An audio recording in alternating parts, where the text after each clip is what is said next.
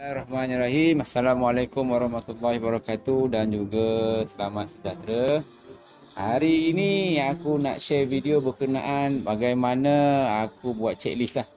Checklist untuk aku uh, beli spare part uh, untuk kerja-kerja overhaul enjin Yamaha TZM 150. Okey, terlebih dahulu aku nak cerita uh, kat tangan aku ni aku ada buku manual lah uh, manual berkenaan dengan enjin TZM ni. Uh, contohnya kat sini, kat manual ni aku dapat tengok bahagian silinder blok uh, apakah dia punya nama nama spare part dan juga dia punya nombor siri. Uh, ini untuk kita pastikan lah uh, part tersebut original ke tidak dan sebagainya eh. Jadi untuk bahagian blok, uh, ini contoh bahagian blok lah daripada head, blok, power valve sehingga dia punya sistem macam ini bila aku check untuk motor aku rasanya tak ada masalah lagi lah. Ha, cuma aku belum buka lagi. Ha, dan di bahagian PV pun masih belum bocor lagi. Dan gasket dia punya oil seal dalam tu masih lagi ada dalam tu aku belum buka. Tapi ini okey lah. Sebab uh, waktu aku overhaul blok aku masih masih okey. Tak ada apa-apa leaking. Dan dalam pun tak ada apa calar. Okey uh, piston pun ini biasalah eh kita punya warna gelap ni dia terbakar sikit panasan dan dia punya blok pun tak ada pecala lah. Ok jadi aku tak ada beli apa-apa. Dia punya ring pun masih baik. Ok dia punya pin pun masih lagi dalam keadaan baik jadi aku tak perlu tukar dan secara keseluruhannya di bahagian blok tak ada masalah. Dan yang seterusnya yang ini pun sama bahagian crankshaft. Aku punya connector rod pun masih lagi fit, tak ada goyang. Goyang sikit tu biasalah. And then dia punya trik pun masih baik, tak ada apa masalah. Bearing pun, dia punya bearing dalam pun tak ada apa-apa uh, yang meragukan lah. Okey. Ini bahagian kerja.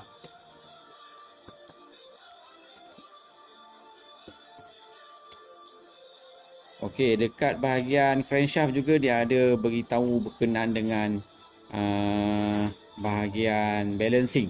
Ha ni. Balancing. Balancing dan juga berkaitan dengan uh, gear balancing. Yes, ni dia gear gear balancing gear ni pun tak ada apa masalah. Dia punya gigi gear pun masih dalam keadaan baik. Okey. dan dekat situ juga dia ada berkenaan dengan ni gear drive. Okey. itu bahagian gear drive ni tak ada masalah. Dia punya primary gear pun pun tak ada masalah. Cuma dekat hmm, gear gear balancer tu dia punya lock ni washer dia dah buruk lah. Kalau benda ni ada jual aku cuba beli baru. Tapi dah cuba cari sebelum ni benda ni memang susah nak dapat. Ha, jadi kalau tak ada aku gunakan balik washer ni untuk pasang enjin aku nanti. Okay, jadi keseluruhannya di bahagian crankshaft tak ada masalah. Untuk seterusnya adalah bahagian water pump. Water pump ni tak ada dekat sini. Aku simpan dekat aku punya store. Water pump ni ada dekat aku punya uh, cover engine bahagian clutch tu. Wah, jadi waktu buka uh, semua okey, cuma dia punya casing uh, water pump ni ada bercala sikit, aku akan spray balik. Dan washer ni kena tukar lah. Sorry, magnet magnet pula. Dia punya gasket ni kena tukar baru lah. Alright. Itu bahagian water pump. Seterusnya juga bahagian radiator. Radiator aku tak ada masalah. Radiator aku simpan dalam store. Jadi yang ni tak ada apa-apa masalah. Dan seterusnya juga bahagian oil pump tuti ha, oil pump tuti yang ni. Yang ni pun aku dah service tu hari Hmm, jadi yang ni tak perlu apa-apa lah. Tinggal pasang saja. Okey, dan yang seterusnya lagi bahagian intake. Intake ni bahagian daripada red valve. Red valve bawa pergi ke kotak angin. Ini red valve aku. Red valve aku guna V-Force. Ha, V-Force ni aku pakai puas hati lah. Ha, bobok-bobok tu kalau kena karburetor setting cun-cun memang okey, tak ada masalah. Okay, getah pun okey. Ha, yang ni untuk pakai V-Force dia kena modi sikit lah. Kalau kau ikutkan standard dekat bawah ni, dia ada dia punya apa lock dia. Tapi bila dah pakai V-Force, benda ni kena potong. Eh, dia kena potong bagi kata untuk lapikkan dengan V-Force tadi. Okey. Tu bahagian intake. Bahagian intake keseluruhannya okey, tak ada masalah. Bahagian karburetor bahagian karburetor aku aku guna uh, Mikuni ini bukan ori eh ini kopi ori ni. Uh, karburetor ori dah tak tahu ke mana pergi. Okey jadi aku pakai Mikuni uh, dalam semua okey. Pelampung tak ada tak ada bocor. Uh, gasket pun masih okey uh, untuk lebih lanjut nanti aku akan buat cerita pasal aku punya uh, karburetor ni biasa itu dulu itu dia ada cerita kat sini bahagian exhaust. Exhaust tak ada apa-apa lah. Ha, cuma aku guna tabung standard lah. Cuma dekat belakang tu aku guna tabung cozy. Salah ni. Okey, seterusnya bahagian crankcase. Crankcase ni crankcase aku. Ha, semua bearing dah tak ada. Semua yang ni aku kena pasang nanti lah bearing dia. Okey. Ha, jadi crankcase ni aku plan aku nak spray balik dekat bahagian luar ni dengan uh, high time punya color silver. Ha, ini aku kena spray balik. Dalam aku tak kacau lah. Luar sahaja. Hai. Jadi crankcase ni bearing ada tujuh. Satu, dua, tiga, empat, lima, enam, tujuh. Dan juga dua bearing silinder kecil. Satu sini dan juga satu sini. Ini untuk push lever ini untuk letak uh, batang sub gear jadi ini tak ada masalah lah. Aku hanya beli tujuh set bearing uh, pada crankcase ni. Ha, itu kena beli. Ok seterusnya bahagian uh, starter. Ha, bahagian starter aku dah check satu aku ok ok tak ada masalah dia punya gear. Aku tak buka pun tak leraikan sebab dia berfungsi dengan baik. Kick pun masih melantun dengan baik. Alhamdulillah. Right Okey, yang seterusnya bahagian clutch. Ha, bahagian clutch ni aku banyak kena repair. Sebab salah satu aku overhaul engine ni berlaku kerosakan dekat dia punya uh, road ni, road push ni, dalam ni. Ha, ni dia. Dia ada bearing, dia dah melekat jadi aku dah repair. Jadi bahagian kelas ni aku ambil utama lah untuk cari spare part dia. Jadi untuk road tadi aku tak beli baru. Cuma aku akan beli baru. Uh, dia punya plate clutch lah. Sebab aku tengok ada 2-3 keping dia dah nipis. Sebab uh, akibat daripada push road tu rosak. Jadi dia dah makan dekat aku punya uh, clutch plate. Okay. Uh, dekat kelas ni juga dia ada satu damper. Yang ni damper ni aku akan tukar. Damper ni uh, masalah dia akan berlaku bila kita tarik clutch, enjin senyap. Bila dalam keadaan enjin uh, statik tu dia duduk, kita lepas clutch, ada bunyi bising pada enjin kan. Nah, itu berpunca daripada sini lah. Clutch damper. Ha, dia kat sini. Nanti aku akan buat video macam mana aku pasang balik clutch damper ni. Jadi bila kita tarik clutch Tarik clutch enjin senyap. Bila kita lepas clutch dia ada Bergegar. Sebab clutch damper tadi dah dah makan. Yang Jadi aku dah buka clutch damper ni Nanti aku akan tukar Dia punya damper lah. Okey lagi Dekat clutch ni juga dia ada spring. Spring ni aku rasa yang dulu mungkin dia guna spring racing Okey jadi dia keras Bila dia keras dia dah menyebabkan uh, makan pada road ni. Uh, ditambah lagi road ni mungkin tak sampai minyak hitam ke, minyak hitam tak cukup ke kan. Jadi dia dah rosak road ni. Jadi aku akan beli yang baru, yang original. Aku akan cari.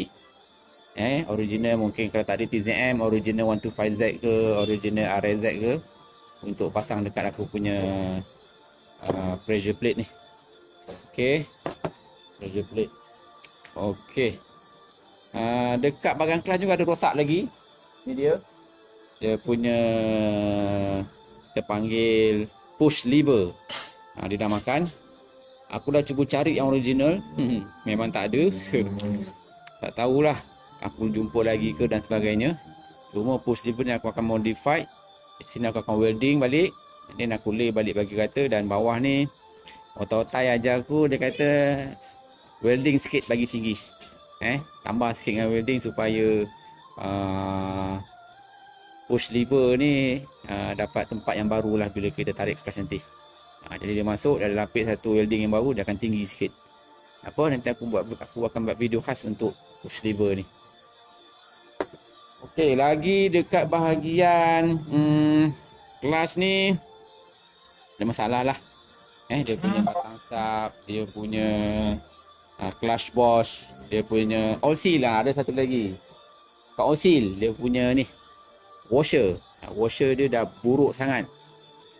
Ini nak cari susah ni. Kalau tak ada jumpa, aku terpaksa guna benda ni balik. Tapi aku akan cuba lagi lah. Cuba cari untuk dapatkan spare part dia.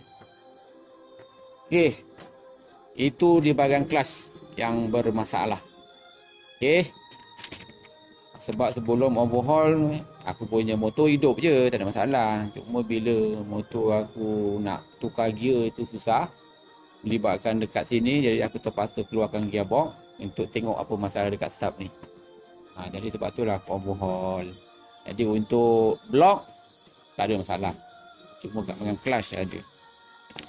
Okey, seterusnya kita tengok pada transmission. Transmission ni dia punya gear. Okey. Gear. Ha, nak cerita panjang ni. Jadi aku ringkaskan lah. Ha, gear ni ada dua bahagian. Ha, yang yang bersambung dengan kelas ni kita panggil dia input gear and then dia akan connect dengan output gear. Output gear ni akan pergi ke sprocket kecil untuk tarik rantai. Ha, jadi dekat output gear ni lah ada gear. Gear 1, gear 2, gear 3, gear 4, gear 5, gear 6. Ha, eh. Ini yang mana tak ada buku manual lah aku cerita sikit lah. Bagaimana dia punya pergerakan gear tu. Eh. Yang mana kalau kita pasang dia punya gear nanti dekat celah gear ni ada satu fork. Ni panggil dia fork kalau bahasa pomen orang panggil ini sepit udang ketam dan sebagainya okay, fork ini dia akan uh, berada kat celah-celah sini lah dia ada tiga fork ha, jadi bila kita tukar gear fork ni lah akan menolak gear ni pada gear 1, gear 2 sehinggalah pada uh, gear penuh ok uh, letak balik kita ikut pada manual TZM uh, post model dia punya gigi gear ni untuk gear 1 sebanyak 34 T. Ini 34. Eh gear 2 uh, 29. Ni ada 29 gigi. Gear 3 26. 26. Dan gear 4 uh, gear 4 24. Gear 5 23. Ah beza satu je. Gear 4 dengan gear 5 24 23 dan gear 6 21. Okey, 34, 29, 26, 24, 23, 21. Ha, itu je beza gigi untuk dia punya gigi. Tapi walaupun beza satu gigi, ha, dia punya performa berbeza-beza. Sebab itu dekat sprocket tepi ada sprocket. Ada yang pakai 16, ada yang pakai 15, eh, belakang 44, 45, 46, 47. Eh. Setiap gigi-gigi itu berbeza dia punya performance. Okey eh. Alright. Jadi untuk bahagian transmission uh, tak ada masalah lah. Aku tak ada apa-apa beli spare part sebab gigi semua masih lengkap. Okey. Bahagian takometer. Ha, takometer ada apalah. Ni dia. Ha, kabel semua okey tak ada putus dan sebagainya. Dia punya gear plastik ni pun masih okey. Dia punya washer pun aku masih ada, tak hilang. Alhamdulillah. Tu. Okey, bahagian shift cam. Ha ni. Ha, King Ali kata, cikgu Cifu Otai TZM lah. King Ali kata waktu dia belajar dulu dia panggil ni bom. Tapi bahasa kilang benda ni nama dia shift cam. Eh, alat ni yang menukar uh, daripada neutral 1, 2, 3, 4, 5, 6. Dia akan berpusing eh. Sebenarnya aku dah ada cerita pasal shift cam ni. Okay. Bahagian shift cam ni dia ada shift cam tu. Dia ada fork 3 and then dia ada satu uh, kita panggil apa ni bar lah eh, untuk letak dia punya fork tu ok jadi untuk shift cam tak ada masalah untuk bahagian shift shaft shift shaft ini. Ok shift shaft. Aku masih ok lah. Tak ada masalah. Shift shaft. Ok Hmm, ini bahagian frame. Ha, bahagian frame tak termasuk bahagian engine lah. Ha, ini bahagian mudguard cover set. Tak perlu aku cerita. Sehinggalah kepada arm steering tank dan sebagainya. Okey, jadi uh, kesimpulannya kesimpulannya berdasarkan aku punya item ni apa yang aku perlu cari dan beli pertama clutch plate kedua yang ini uh, washer untuk kunci clutch plate. Okey, ini ada ke tak ada wallahu alam lah tapi cuba cari. Okey, yang ketiga semua bearing, ada tujuh bearing. Uh, crankcase. Okey, yang keempat, yang keempat. Okey, dekat plate magnet ni aku punya uh, connector wire ni dia dah terbakar. Aku nak tukar baru lah. Aku dah tengok dekat Shopee, harga dia tak sampai RM10. Uh, benda ni boleh kurang RM4 lebih je, jantan betina. Aku kena buka balik, aku kena pasang yang baru sebab dia terbakar kan yang mencair jadi sebelum dia ada berlaku short sampai aku tukar bau ha, kan dia buat ni tengah perah-perah enjin tarik atas highway benda ni cair hmm, terus ada api jahanam ok ha, satu, dua, tiga, empat empat, lima lima ha, dekat gear ni pun ada washer ini pun dah buruk aku cuba cari yang baru ok tapi kalau pakai ni tak ada masalah pun Ah, lima, enam, enam. Aku akan tukar damper, kelas damper ni. Eh, getah ni dah dah ada makan, dia dah ada goyang. Jadi aku tukar baru. Uh, dia punya clutch spring. Ha, ini pun aku akan tukar. Berapa? Empat, lima, enam, enam, okay, tujuh. Uh, oil seal, oil seal kat crankshaft. Aku perhatikan kat sini dia punya spring ni dia dah putus-putus. Ha, ni mungkin sebab waktu aku buka itu hari lah. Ha, jadi ini pun akan tukar semua set uh, oil seal tak mahal pun. Ni murah je. Okey, tujuh. Apan, apan. Okey, ini barang Ray ni. Ini siapa dapat beli ni memang barang Ray ni. Ini washer ataupun lock dekat sprocket. Ha, kita letak sprocket. Ha, tak sini dia ada lock. Ha, aku punya dah buruk. Ya, benda dah lama kan. Ha, jadi ni aku tengok ada barang ni dekat Shopee ni. Harga dia satu ni RM25. Tapi out of stock. tak ada stock. Gambar aja ada. Tapi aku akan cuba cari lah kat kedai. Ha, tujuh. Tujuh. Tujuh. Lain, lain, lain, lain, lain. Lapan dah tentulah dia punya gasket. Eh, overhaul gasket. Ha, sembilan overhaul gasket. Hmm. Rasanya itu je lah. Ha, tapi walaupun sikit 10 barang aku dah anggar-anggarkan barang tu mencecah RM400 ha, sebab aku tengok harga crash plate ni kalau original satu keping RM18 kali 7 dah berapa? Kan? Dah banyak situ. Yang ni pun sama. Aku tengok yang original ada yang RM12 ada yang RM10 satu. Kalau 5 berapa? Dah RM60 ok kelas damper tak mahal mana. Yang ini. Yang ini kalau original 100 lebih. Tapi aku tak jumpa orang cakap 100 lebih. Ha, sebab RZ pun memang kalau beli original 160. TZM dah tentu agak harga macam tu juga kalau ada. Eh, kalau tak ada aku yang aku modify lah. Building balik. Okey. Uh, gasket tak mahal. Gasket dalam RM20 je. Uh, dia punya washer ni kalau ada jual mesti harga dia paling-paling kurang 10 ke 20 ringgit. Dia sebab uh, barang rare kan. Hmm, steamnya. Tak dapat lah 2-3 ringgit lagi dah. Ini kalau ada jual original, mesti 10-20 ringgitnya. Okay. Uh, so, untuk senarai kos yang sebenar, nanti aku sharekan selepas pada video ini. So terima kasih menonton. Kita jumpa lagi. Terbaik. Bye bye.